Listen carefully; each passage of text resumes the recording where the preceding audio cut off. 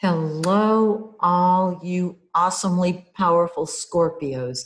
This is Maxine Taylor, and I have your July astrological forecast right here. Um, oh, can't wait to share it with you. First of all, let's start with Mars. Mars is in Aries. It's the, in the sign it rules. Look out. Here you come. There, there you are in your sixth house of work, health, and service. You are throwing yourself into your daily activities, maybe working out more. Uh, I don't know. Everything I've said is available to you because the sixth house is work, health, and service. And so your job comes first to you. Um, and you throw yourself into it with a passion. Um, your health as well. You may find yourself crossing every T and dotting every I in order to be as healthy as you possibly can. And of course, Mars is one of your rulers. I love it. I love it. Now let's look at Venus, the pink planet, in your eighth house, which is the house that you, Scorpio, rule in the natural zodiac.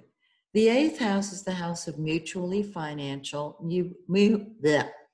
Mercury still retrograde, so my lips are not working as a team or with my mind. The eighth house deals with mutually beneficial financial projects. Okay, say that fast three times. Um, anything in the eighth house is undergoing a transformation because you are the sign of transformation and power and magic.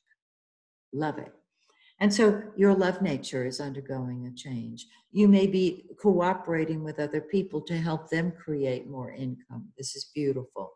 And what you love and how you love, maybe even who you love, is what you're looking at here. You're examining your beliefs about love and you will work through anything in that eighth house. That's the power of the eighth house.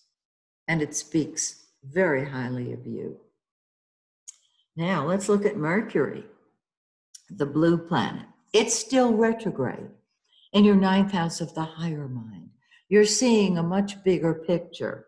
Uh, sometimes, if when we get involved with our eighth house, we get really caught up in uh, the smaller view, the microscopic, the microcosmic view. You're seeing the big picture. But Mercury's still retrograde till the 12th, so you may not get the clarity you want until after that. Be patient with yourself. You're ready to get on a plane and go somewhere. You're ready to spread your wings and soar. That's the ninth house. Now, after Mercury goes direct, it's going to be in the shadow of the retrograde until the 26th. Venus is in the shadow of the retrograde. It has gone direct, and it will be there till the 28th of the month. Mars is going to enter the shadow of its retrograde on July 25th in preparation for its own retrograde motion in a couple of months.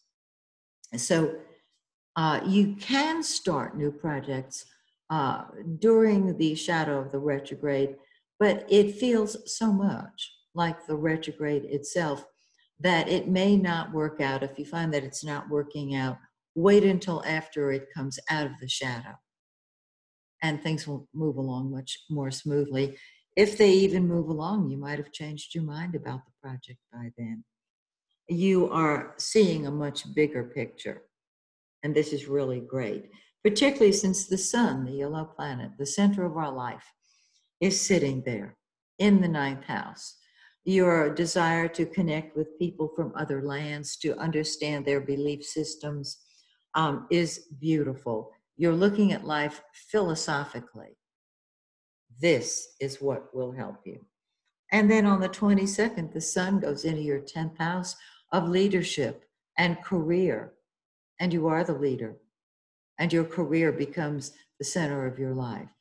And my suggestion is that you speak to those in authority who can help you move upward in your career. Okay, we have a full moon uh, between the 4th and the 5th of July, depending on where you live on this planet. Uh, it's a lunar eclipse as well. So it's incredibly powerful and will be at its peak three to four months from now. If you're not uh, aware of how powerful this eclipse will be, just wait for three to four months and you will see. Because the third house is communication, correspondence, transportation, our mouth and our minds. It helps you communicate, it helps you teach, it helps you get your point across. And it is an eclipse, which means it's going to have a strong, a strong effect uh, till the next pair of eclipses come along uh, in 2021. Oh, no, excuse me, so sorry. At the end of 2020, I'm thinking way ahead. Uh, we have an eclipse in November and another in December. Okay. Now, two weeks later, we're in the dark of the moon, no energy. On July 20th, we have a new moon. It's not an eclipse. That's okay. The energy starts moving forward. And it's back in your, in your ninth house. Mercury has already gone direct. You're seeing the big picture. You're expressing the big picture. You may be traveling. I don't know what type of uh, long distance travel restrictions uh, the airlines and government might impose, but you keep your passport current because you're ready to hit the ground running, or more specifically, hit the air soaring. So, that is your glorious forecast for July. I hope you love it. Um, and if you'd like your own personal forecast from me, just go to my website, MaxineTaylor.com order the reading or readings that you would like, and I will be back in touch. So, till we meet again, may the stars shine brightly on you and yours. Bye for now.